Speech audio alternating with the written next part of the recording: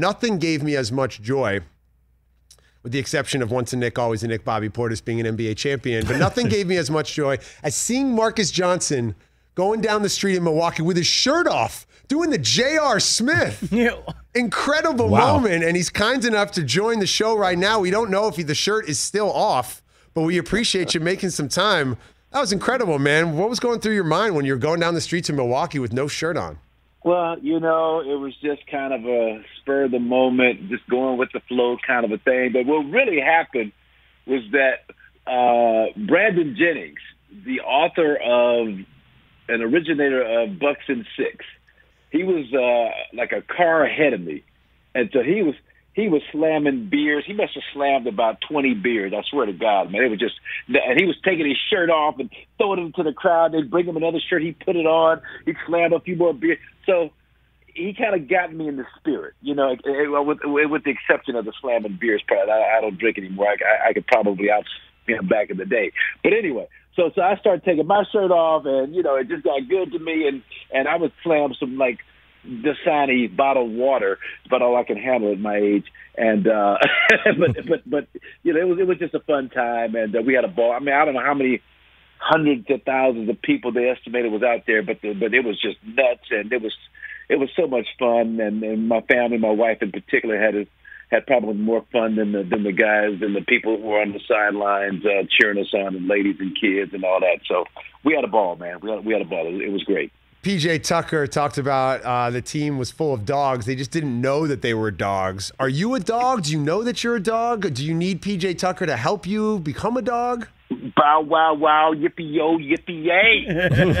um, no, I you know I don't need PJ's help. It, it- you know I'm a dog in my own arena now, just the broadcasting, acting, writing kind of arena, uh, and just the tenacity to go out there and get it and be tough and get knocked down and knocked back and and to get up and keep coming. You know, and and that's what PJ means. And so PJ for me was one of the key acquisitions. And I told Jon Horst yesterday on stage uh, as we went to uh, uh, the Deer District uh, right after the parade and uh, the, the, the throng of fans. But I told Jon Horst, look, man, you, you know that was a key. Bringing in PJ, of course, Jrue Holiday, great acquisition. But but, but in terms of this team's edge, PJ gave this.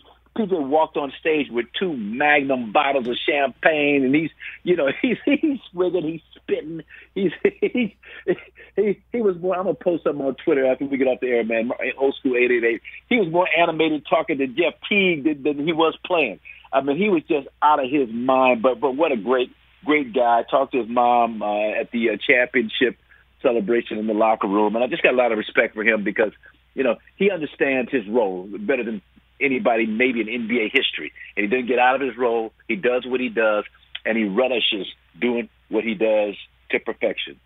Marques Johnson joins the show. He might still have his shirt off after the Milwaukee Bucks parade. Ben Lyons filling in for Rich on the Rich Eisen show. Uh, such a crazy scene out there. It's an incredible story. Uh, the Milwaukee Bucks winning an NBA championship. You uh, have a special place, of course, in your heart for Milwaukee, having been an All Star there for many years. So, what's it been like for you to connect with the older fans, the ones who have been through the the rebuilds and and the terrible seasons and the losing and the getting close and the conference finals and all the the moments throughout the history of Milwaukee Bucks basketball. What's it been like for you to connect with some of those diehard older fans who are getting to experience this? Well, and I just give you kind of a, a, an example of what, what epitomizes that. So my broadcast partner, Jim Paschke, 35 years as a Milwaukee Buck announcer. I got there uh, after the championship years, obviously, and then I tell you, went through some lean years in Milwaukee.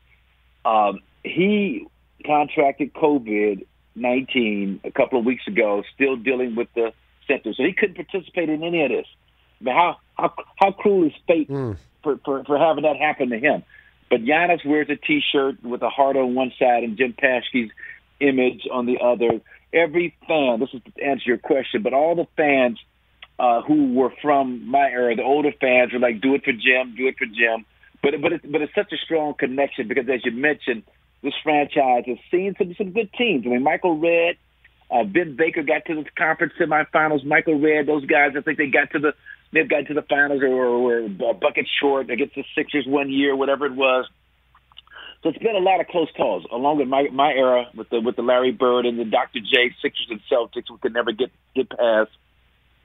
And so it was just a it was a vicarious kind of a thrill to be able to experience this with this with these guys. And when I was on stage with the guys, this is kind of how it really felt. I mean, I just took I took a seat in the back. Darvin Ham and and, and Khris Middleton, some of the other two people were like, "Come on up, you know, come on up on the front with us." And and I just no, no, I just want to sit back, let you guys enjoy the moment, but just allow me to be a part of it. And that's kind of how you know that that's the epitome of kind of how the older fans feel. This is your time, young fellas, but man, we sure are enjoying the moment, and thank you for that. Marques Johnson joins the show, Milwaukee Bucks analyst. I like to introduce him as the father of Josiah Johnson, the king of NBA Twitter. You can follow Josiah, of course, at King Josiah54. What was it like to experience the NBA Finals with your son? I know you guys had a chance to go out to a couple games together. Had a great time. Josiah came out. Uh, his good buddy and creative partner, uh, Michael Starbury. Uh, the, the, they, they, they joined us in Milwaukee. My oldest son, Chris, was there. That was for game uh, three. Then Chris stayed over for game four. And then I went out to Vegas to see my daughter win the AAU national championship for 11 and under. Then we came back, my daughter and my my my youngest son, and uh, my my second youngest son, Mariah. He was on the Baldwin Hills TV show, whatever, back a few years back. But we also we all were there for Game Six, the clincher. Uh, in Milwaukee, and so we were back in the locker room and the champagne celebrate. I mean, man, it was. I mean, you know, to experience that with you with your kids, and again, that's all. I posted all that stuff on Twitter. It, it's just such a, such a of just a, a monumental kind of a moment. And, and and and I know in my life it is, and I, I can imagine something that they would just never ever forget. Being able to to experience all that stuff, be on, be you know, be on the basketball court, down courts. The Bucks made sure that we had access to everything. So we were there courtside with Adam Silver and and and, and, and Malika Andrews talking to Chris and talking to Jan. We were right there. We we're experiencing everything, and it was just uh, one of those moments, man. That I'm so glad my wife flew out for the parade. She was gonna pass on that. And she was like, I don't know what I was thinking. She had so much fun at that parade.